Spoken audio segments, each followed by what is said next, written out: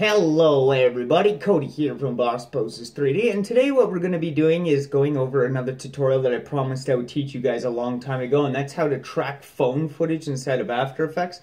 I know a lot of people have been having uh, problems, I know they can get it correctly if it's in landscape mode, but if it's in portrait mode, people are having a lot of problems with doing this, so what we're going to do today is I'm going to show you very easily how to correct that, all you have to do is do a slash command inside your focal length and you're ready to go. Honestly, it's that simple.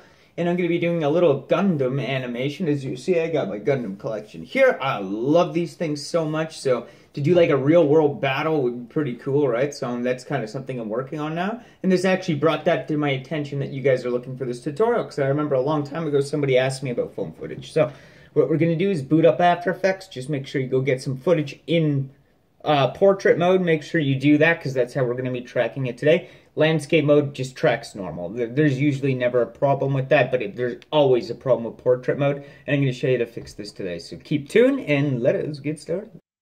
Alright, now that we're inside of After Effects, what I want you guys to do now is import your footage. You have two options here, new composition, new composition from footage.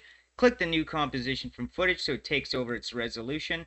And I'm going to open this up just like that, okay? So you're not going to need to do any stabilization or anything like that. All I want you to do is go into the effects tab that's down here at the bottom. I want you to type track. Scroll all the way to the bottom and you're going to see this thing called 3D camera tracker all we're going to do is click and drag that just like our 2D VFX video. We're going to let that run and when it's done solving you're going to see a point cloud of colors and that's going to give us a bunch of targets to add our uh, origin to. So I'm just going to pause the video until this is done tracking and we're going to come back and I'm going to show you how easy this is to do. Alright, now that our camera tracker has finished, you're going to notice these colors all over the ground, and when I move my mouse over any of them, you're going to see this target show up. That target is going to allow us to create a camera origin or a target where we can add things to, if you're doing that in After Effects.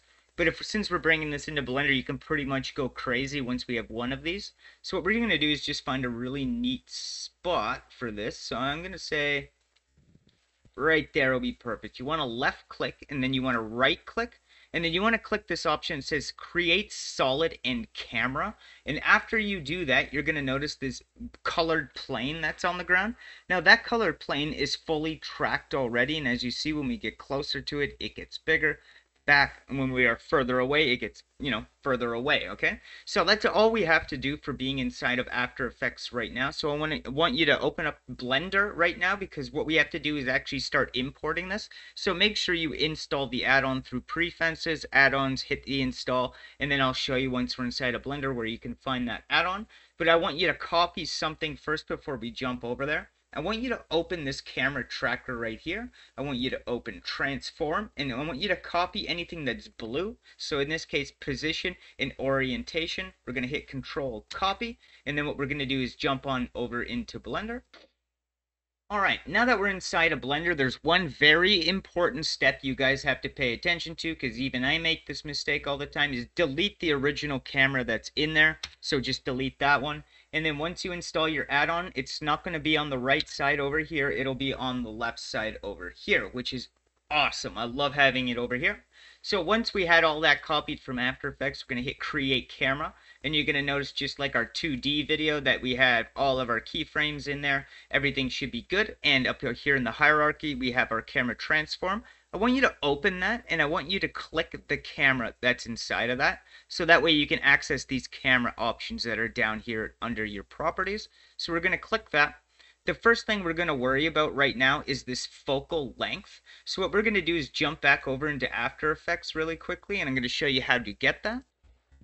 Alright, now that we're inside of After Effects and we want to get our focal length, all we're going to do is double click the camera tracker down here and you're going to get this window that pops up and I'll bring that up for it looks like that. And what we're going to be doing is we're not going to be focusing on this number where it says film size. Look below that for this digit right here, focal length. We're going to click it once and you're going to notice that it's going to expand that number. Hit control copy and just hit OK on that. And then what we're going to do is jump back over into Blender and paste that where it says focal length. So let's go do that. Alright, now that we're back inside Blender, over here where it says focal length, we're just going to hit Control V paste all those numbers in there. We're going to come back to that uh, one for one last step later, but for now, that's all we need to do. And, and then if you hit insert on your keyboard, you'll notice that we're inside of our camera. So what I want you to do as well is go down in the properties, same options that we're in right now. We're going to hit background images, add image, movie, and then we're going to hit open and then I'm going to find the movie clip that we want to work with that we tracked inside of After Effects. And you're going to notice right away that this video footage is the correct orientation but it's smushed and rotated. So it's not true that you have to re-export this from After Effects. That's just an overly complex you know try hard way to do it. So all I want you to do is this. Click fit hit rotation hit 90 and you're going to notice that now it's properly orientated but it's off scale. For the scale I want you to press 1.77778. So four sevens and an 8, okay? And then you're going to hit enter. And now you notice that our footage is perfectly fit to uh, back to our scene just like it is in After Effects okay? So the next thing we have to do is bring in that tracking plane. So we're going to go back into After Effects. Once you do this a couple of times it's like water. It's so easy to do. So let's jump back over into After Effects. Alright, now that we're inside of here, we can close off this camera arrow right here and click the arrow next to that square that you just created. It'll be a, a random color. It's usually purple. Again, click transform. In this one, we're going to click anchor point, hold shift, and then click orientation. That way it highlights everything between that. So you should have four things highlighted. Hit control copy. And again, we're going to go back on over into Blender. Now that we're back inside of Blender, down here where we created our camera, we're going to click, click the Create Plane button. And you're going to notice that this is off-center. Don't move anything, because once I start uh, moving my camera, you're going to notice that it's in somewhat of the same position. It's pretty close to being accurate now, but you're going to notice that it is floating all over the place. And this is the part where everybody gets confused on what to do now. So if this was the 2D scene in landscape mode, this would work already. But uh, for some reason, it just it just does not take this footage very well. So I'm going to show you a very easy trick to fix this. So up in the hierarchy up here, again, just click your camera. We should still be in our camera options right here. This is where we're going to go back to focal length. We're going to click next to where it says millimeters. So right beside it, I want you to press slash, so forward slash, and then that same 1.77778. So four sevens in an eight. 1.1234 and 8 and hit enter. And you're going to notice that this changed its orientation right here in our scene. And now when we play it back, our plane is perfectly tracked to our scene. They absolutely perfect. Look at that. It's it's flawless, right? So now you're pretty much ready to get carried away. So what I always do is I just exit this view right here. So I have that bound to my mouse. And then what I want you to do is click the plane. I always press just shift right click. That way you have this world orientation right there and then you can hit back. You can add a cube or whatever, but for in this case, like I said, I wanted to do like a Gundam or something like that. So I'm just going to bring in, I don't know, say like a source film model of some kind. So just give me a second to find something. I am uh, browsing. We'll do a Gundam aerial. This will take a minute just to import.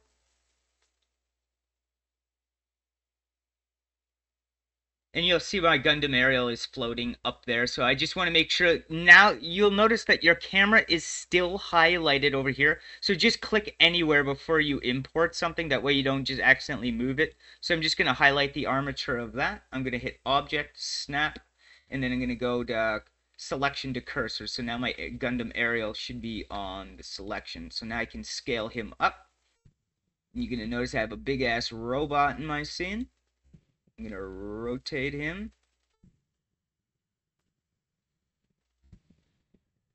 you can even do your animation now, right? So this is where all the fun starts. And like I said in the next tutorial that I'm going to show you how to uh, change the orientation.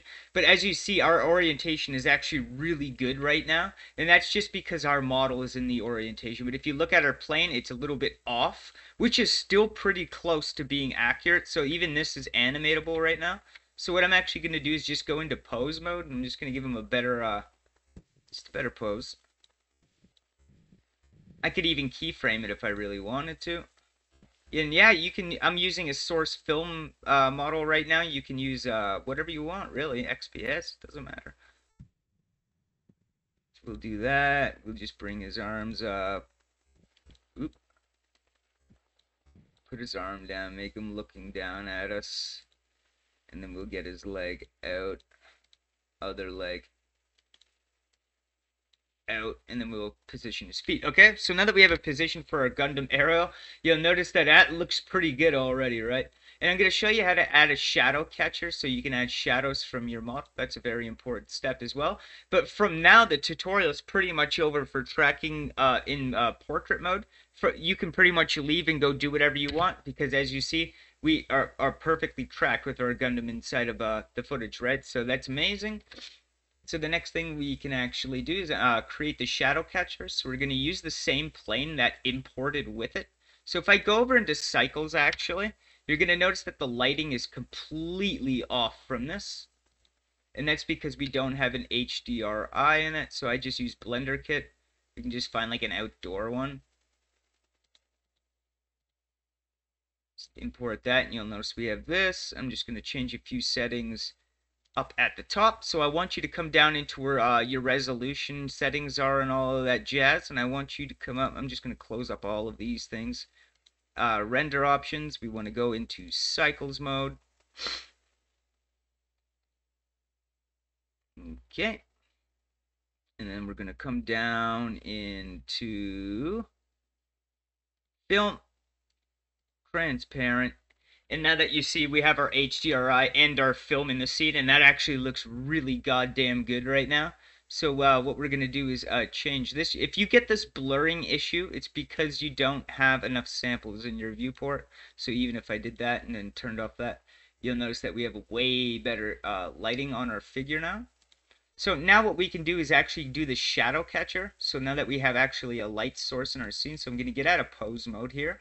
I'm going to take this plane and I'm just going to scale this as big as I can get it. And see that shadow that's running off of our character right now? We're going to utilize that. So what we're going to do is stay in our rendered options here. I'm just trying to remember exactly where that option is. Maybe it's in... Let me see, let me see. It should be right up in... I'm pretty sure it's in there. Uh, let me dig around for it. It's got to be here. I'm trying to find the shadow. I can never remember exactly. So we have the uh, transparent on. I'm going to come down into here. I'm just going to flick through them really quickly and figure out where I am. Pretty sure it was here. Aha, visibility. And then we're going to click this right here, shadow catcher. And you're going to notice that that goes invisible. But now we have a shadow on our ground, right? And we can make that as big as we want. So now when I go out of it, you're going to notice that our character has a shadow on the ground. You can change the opacity of this if you want. So we're just going to lower the Gundam a little bit. Kind of like that. Actually, you know what we can actually do to make this even cooler? We'll make him like kneeling down because I didn't account for him uh, standing, right? So we can just pose him up like this.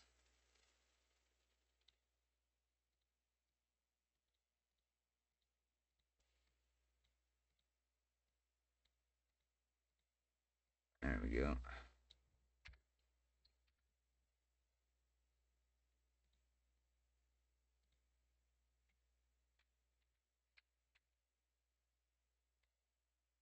Okay, put him on the ground. Maybe bring his other leg forward a bit so it's like actually touching. Yeah, looks pretty cool, man. I, I love doing this stuff, right? So that that's fun to me. Okay, so now we're done, right? So that's all you have to do. Now I'm going to show you how to render it out. So this is very simple as well. So click on compositing at the top. Click on use nodes. You're going to have this. Just click this once and push it over. Click this and push that over here. You're going to add two things, okay? Click Shift A, hit search, type uh, movie so now we're going to have a movie clip. Put that right under there. Hit uh, Shift A again, and then do alpha over. Whoop, not alpha convert. Sorry, alpha over. This one right here. And this is very simple for you to do if you're if it's not rendering properly. All you're going to do is take this uh, image from the top, put it in the bottom slot, take this one, put it in the top slot, and then take that output and then put it into the composite so it looks like this. Make sure you select your video right here. Okay, so now that you have your video selected just like that, you can change the orientation and the scale, which might be a proper way to do it, but this should just work fine anyway. So what we're going to do is go back over into layout. You're going to notice that we have our Gundam, which is actually really damn cool. So I'm just going to hit render image really quickly to show you that this works flawless. So I'm just going to wait for that to pop up and do its thing. It should only have to render about 26 samples or something like that.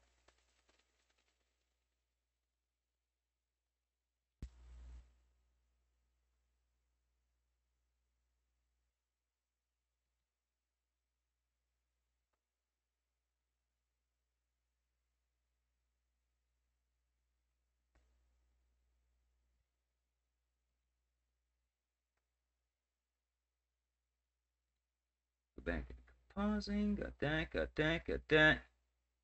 Render that out. Okay. I just want to make sure my render properties are in the correct orientation. There is an alpha you usually have to use. I'm just trying to get the image to render out the way I want it to. So let's find output.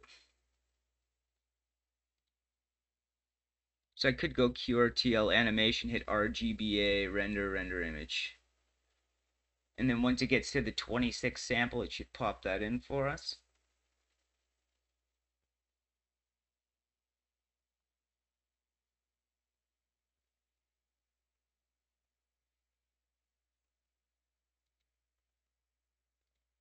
Yep, and just switch that back to 264 go up, just make sure everything's good, transparent, video on. And then all you pretty much have to do from here is hit render. So if I go, so another thing you can do if this transparency in your video isn't perfect, you can go back into your camera options here. So let me just select the camera, get out of pose mode first. So camera, and then you should be able to change your opacity down here if I'm not mistaken. Yeah, right here. So you can uh, enable it full. So that's what the video is pretty much going to look like when it's all good. And you're going to see once we get closer that our Gundam aerial actually gets bigger, which is actually really nice. And then you can just render that out. So just remember that you copy this exactly as it is. This is very important. So it's always going to look like that. You got your render layer, your movie clip alpha over, and that's going to go on over into that. Now all you have to do is pretty much just render out your video and you're done. So if you guys liked today's video, please do like and subscribe. It didn't take me too long to do this, didn't take me too long to figure this out. Love helping you guys, but uh, thank you all for tuning in. Please do check out the rest of the videos, tons for you to learn, and have yourselves a great day. Take care.